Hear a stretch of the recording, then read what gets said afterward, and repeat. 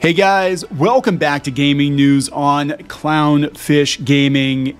If you're producing content on YouTube using Pokemon characters, you might want to rethink that. Apparently, Nintendo and the Pokemon Company are going on a copyright strike spree. I don't know why they're doing this. I don't know why they think it's a good idea, but they're doing it and uh, they're getting some some pretty negative headlines for it. We're going to talk about that and kind of the utter state of uh, Pokemon right now here on Clownfish Gaming. If you haven't subscribed yet, please do so uh, to the YouTube channel. And also, we repost the gaming news as part of the Clownfish TV audio edition podcast. So thank you very much for subscribing wherever you find find this uh, content. So I got to give a hat tip to the Taskman Offensive on Twitter who tagged me in on this and said that the Pokemon Company is not only copyright striking old YouTube videos and DMCAing mods as of recently, but also looking to hire an ESG manager. So there's all kinds of stuff going on with Pokemon right now. Uh, you said Palworld will force Pokemon to evolve, but seems to be doing the opposite. I'm going to talk about Palworld in this video, in this episode, because Palworld's actually doing very, very well. But let's go out to uh, the Sun first. The Sun, a, a, bastion of journalistic integrity. But they have an article on this. Um, it is hitting the mainstream media. Pika ban, two more strikes, my channel gets deleted. Fuming YouTuber cries as Pokemon bans years old video. We're talking a seven year old video.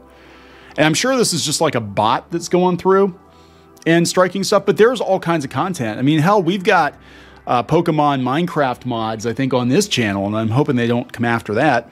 The uh, Pixelmon Pixelmon server. Uh, the Pokemon Company is known for going after anyone using Pokemon without permission. As a recent case shows, even if the content is almost a decade old, it can still get a copyright strike.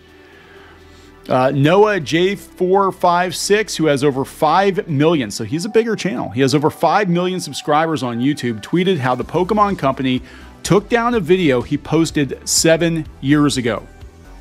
Seven years ago. Warning to all content creators if your videos feature any sort of modded Pokemon content, I would delete and unlist it ASAP.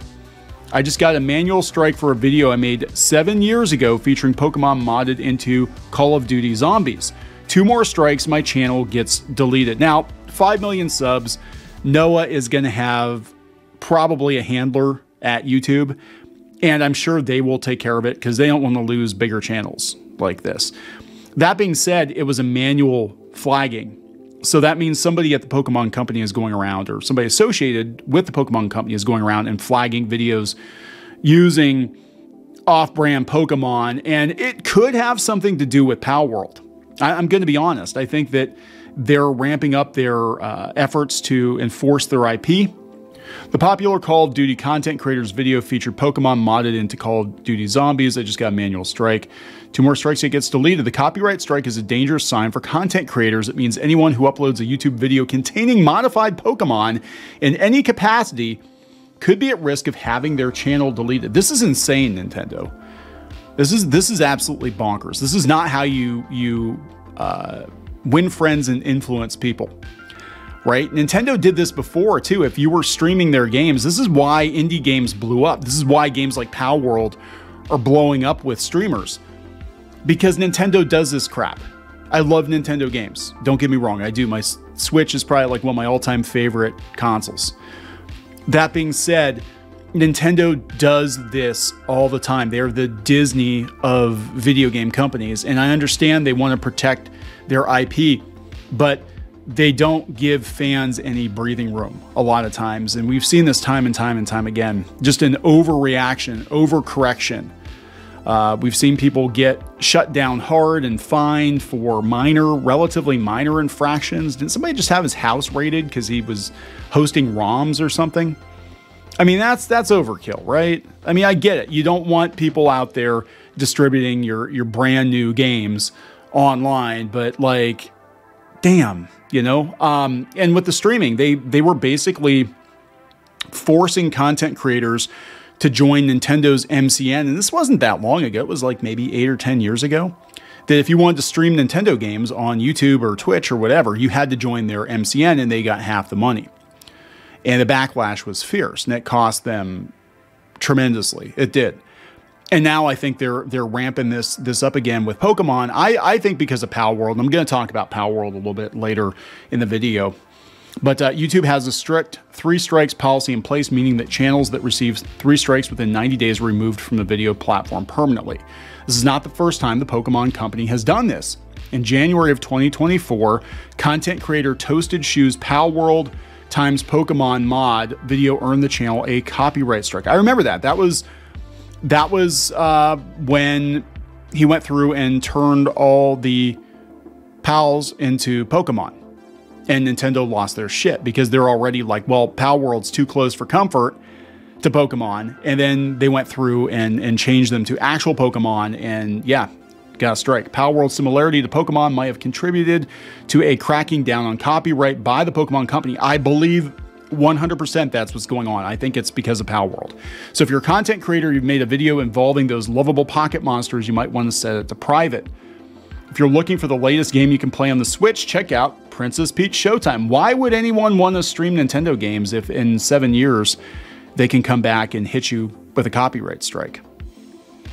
You know what I'm saying? Like that that that concerns me because like as much as I love these games, it's not worth the risk to to our channel to do this. So they're also looking for apparently uh, a DEI person. Uh, there have been concerns, obviously, in gaming lately because of Sweet Baby Inc. and all the stuff going on with that about any company that's that's broadcasting that they're looking for somebody to be in charge of DEI and social responsibility. And uh, yeah, this is uh, coming from uh, Colonel Otaku Gatekeeper. If you thought Pokemon Scarlet and Violet were awful, the next installment is going to be worse. The Pokemon Company has released a job hiring for an ESG director, which will oversee all creative output for the next Pokemon game. Yeah, uh, I don't know if that's going to go well. Considering Pal World, you can like capture and enslave pals and humans and butcher and eat them if you want to. Uh, I don't. I don't think the next Pokemon game is going to be a true competitor to to Pal World, right? Um, so anyway, let's go out and talk about Palworld since I'm already already here. Two months after launch, Palworld is still averaging over 100,000 concurrent players a day on Steam, even with the biggest content updates still to come. Yeah, I think I think stuff like this with Nintendo, with the Pokemon Company cracking down irrationally. It was like I mean, you're talking a seven-year-old video. It was just a mod for Call of Duty and I've seen people do lots of Pokemon uh, adjacent content on YouTube, uh, you know, using Garry's mod or you know Minecraft or even The Sims. I think people have modded, and that's kind of a scary place. So this is actually just going to incentivize content creators to push the competition and Palworld's still popular. Everybody said it was going to be a fad, it was going to die off. It's not dying off. Two months after launch, Power World has proven it has staying power with over 100,000 concurrent players a day still playing on Steam. It became an overnight sensation back in January, selling 2 million copies in a single day. It surpassed 2 million concurrent players on Steam, a feat which, until that point, only um, PUBG Battlegrounds had managed to pull off. Now, two months later, this Pokemon survival mashup is still attracting an impressive number of players. And uh, apparently, it's doing really well on Xbox too. Palworld propels Xbox to best ever month of console playtime. Uh, Palworld, a game that's been that the internet had dubbed Pokemon with Guns ahead of its early access release in January, has been a huge success for both the developer and the Xbox. Xbox celebrated a fast start to 2024, revealing that January, January was actually its biggest month ever on console in terms of playtime. Wow. In a blog post detailing Xbox's efforts to support independent developers, Microsoft highlighted Palworld as a key reason for this record and stated Palworld has had more than 10 million players on consoles so far. That's crazy. So, what's going to happen? I'm telling you, you're, you're, seeing a tale of two gaming industries here. You're seeing the AAA industry double down on expense and nonsense. I think in a lot of cases with uh, you know DEI and ESG and all that drama, and they're spending way too much money on these games. And they're not getting uh, you know a return on that investment. And you've got developers of these companies, you know, screaming into thin air at the GDC and stuff, right? Go go look up that whole thing. But I think we're going to see more games like Palworld. We're going to see more games like Helldivers 2. They're maybe not the most technically impressive games out there, but they're a lot of fun and they're not ham fisted. They're profitable because it didn't cost a, a, whole lot to make them compared to the AAA titles, and they're not hitting you upside the head with politics. They're just trying to give you a good time. You know what I'm saying? Like it's it's that's where I think everything is is going to go and gamers are going to naturally gravitate toward games that feel like games again. And I'm okay with the graphics not being the best thing ever. I'm totally fine with it. Actually, one game I play when I have an extra 15 20 minutes and I, am just looking for some time to kill. It's it's Vampire Survivors, which has 8-bit, 16-bit graphics and can run on a potato computer. And I love that game. I play it all the time. So, you know, you don't need the best graphics ever. You don't need you know all the polish of uh, a AAA title. In fact, I saw that they announced that the uh, Joker was coming to Suicide Squad and nobody cared because that game is basically dead at this point. Suicide Squad, just put in perspective, Suicide Squad, which has become the poster child for Sweet Baby Inc., uh, was averaging last time I checked, it was averaging under 500 concurrent players, and Pal World is like 100,000 players. And one of these games cost a hell of a lot more than the other one did. I'm just saying. But to bring it back to Nintendo, I'm telling you, this is probably Palworld is the trigger for this. They're going to crack down on any uh, Pokemon adjacent content. I think it's overkill.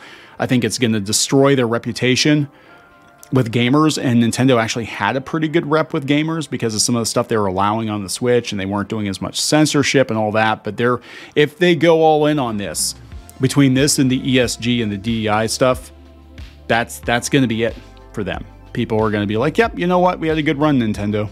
We had a good run, and and now is the time when we part ways." Uh, I'm just I'm just saying it can happen. To wrap it up. Please subscribe. We'll talk later.